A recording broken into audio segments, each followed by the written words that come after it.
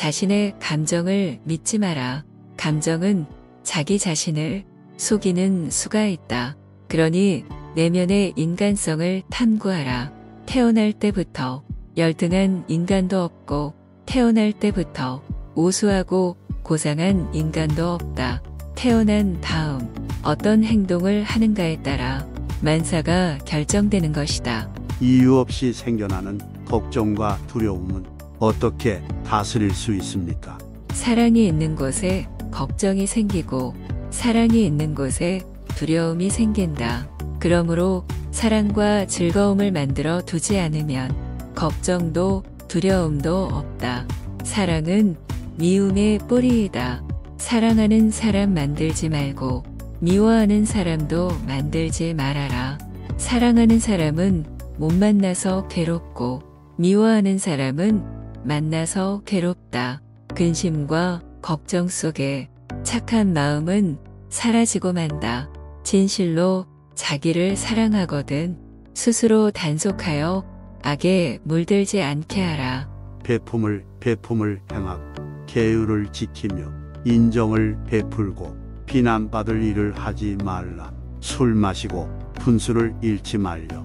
다른 일을 존중하고 겸손해라. 저의 인생은 항상 고통의 연속이라 너무 힘이 듭니다. 고통에서 벗어나는 방법이 없을까요? 우리의 인생을 방해하는 두 가지가 있다.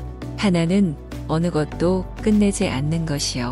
다른 하나는 어느 것도 시작하지 않는 것이다. 실패한 사람이 다시 일어나지 못하는 이유는 교만하기 때문이다.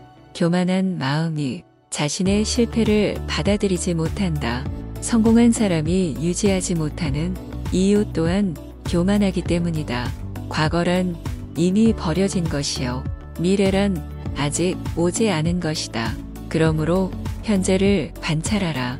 흔들리지 말고 동하지도 말고 다만 오늘 할 일을 열심히 하라. 어떻게 하면 현생에 집중할 수 있을까요? 슬픔이 있으면 기쁨이 있고 기쁨이 있으면 슬픔이 있다.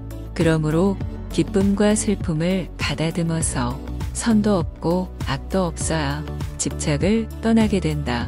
지난 날의 그림자만을 추억하고 그리워하면 꺾어진 갈대와 같이 말라서 초초해지리라. 그러나 지난 날의 일을 반성하고 현재를 성실하게 살아간다면 몸도 마음도 건전해지라. 지나간 과거에 매달리지도 말고 아직 오지도 않은 미래를 기다리지도 말아라.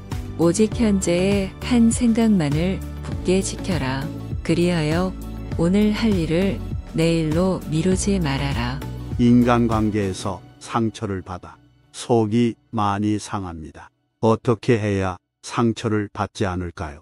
남을 해칠 마음을 갖지도 말고 원한을 품지도 말고 성내는 마음을 두지도 말아라. 마음이 생각대로 되질 않습니다.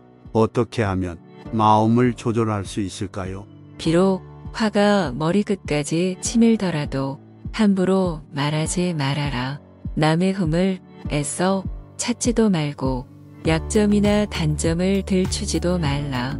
그렇게까지 하였는데도 그 사람과의 관계가 좋지 않습니다. 정말 방법이 없을까요? 마음이 통하지 않으면 그 사람과의 거리는 천리길 만리길이다. 비록 먼 곳에 떨어져 있다 해도 마음이 서로 통하면 그 사람은 언제나 그대 곁에 있다. 역풍을 만나면 그 향기가 사라지지만 착한 사람의 향기는 역풍을 이기고 사방에 퍼진다. 석가모니 인생 명언